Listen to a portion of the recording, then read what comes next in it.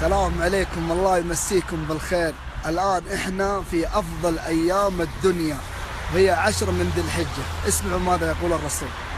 الرسول صلى الله عليه وسلم يقول عن فضل عشر ذي الحجة ما من أيام العمل الصالح فيهن أحب إلى الله.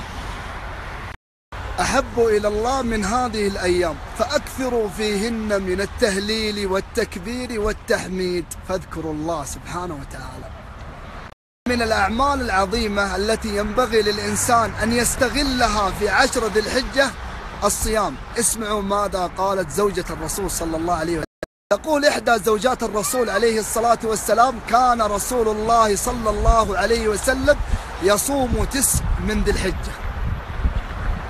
عشر من ذي الحجة. فيها يوم عظيم وهو يوم عرفة. من صامه كفر الله له السنة التي قبله والتي بعده كما أخبرنا الرسول. أيضا يا أحباب من العبادات العظيمة الحج. والرسول صلى الله عليه وسلم قال تابعوا بين الحج والعمرة. وأيضا في الحديث الثاني الرسول عليه الصلاة والسلام يقول من حج فلم يرفض ولم يفسق رجع من ذنوبه كيوم ولدته أمه. نصيحة محب اللي عنده استطاعة إنه يحج يبادر بالحج ويسابق بالحج فالأجر عظيم والعبادة عظيمة. دام الله مد في عمرك وتستطيع تحج ليش ما تحج؟ السنة الجاية ممكن تكون من قوافل الأموات فبادر بالحج.